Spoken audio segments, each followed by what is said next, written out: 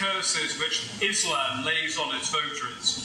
Besides the fanatical frenzy, which is as dangerous in a man as hydrophobia in a dog, there is this fearful, fatalistic apathy. The effects are apparent in many countries.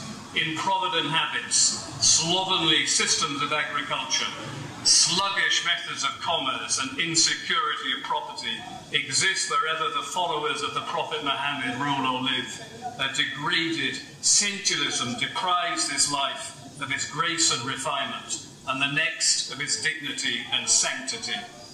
The fact that in Islamic law every woman must belong to some man as his absolute property, either as a wealth, a, a wife, a child, or a concubine, must delay the final extinction of slavery until the faith of Islam has ceased to be a great power amongst men.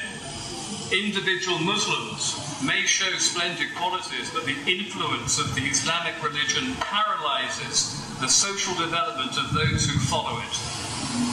No stronger retrograde force exists in this world, and far from it being moribund, Islamism is a militant and proselytizing faith. It has already spread throughout Central Africa, raising fearless warriors at every step.